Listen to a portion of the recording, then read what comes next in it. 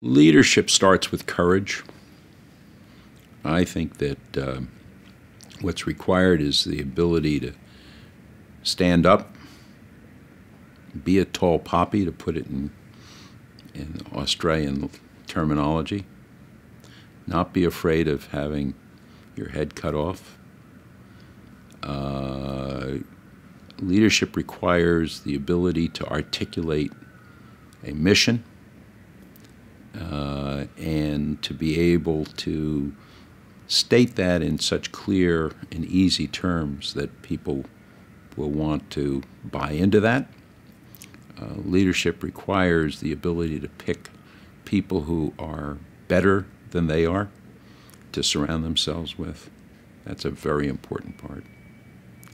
I'll just say that you can judge an awful lot about a person by who they have surrounded themselves with.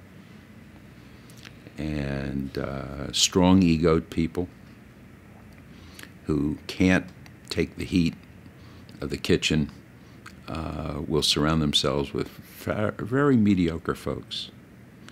But your best leaders surround themselves with outstanding people. Uh, a good example of that was uh, President Reagan. I mean, he, he had a cabinet that was absolutely outstanding. And that was part of his genius. And if you look politically, you look corporately, you look philanthropically, you'll see that. Um, leadership is not getting your ego in front of you.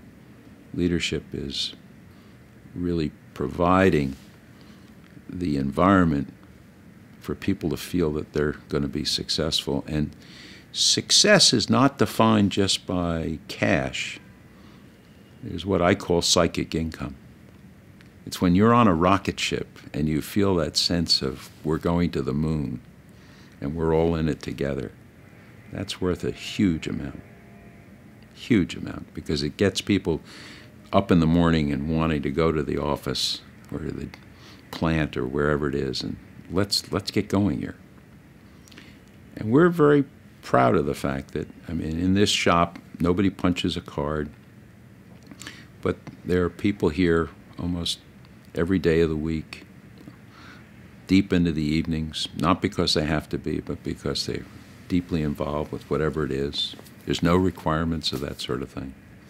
It's just you want to turn people on. That requires, on the part of leadership, the willingness to be transparent and the willingness to also um, be communicative to create an environment where you can have up and down and sideways communication. Very important. And to avoid bureaucracy. I think bureaucracy is the is the arteriosclerosis of any corporation. And in today's world where change is coming so rapidly, that's that's a disaster.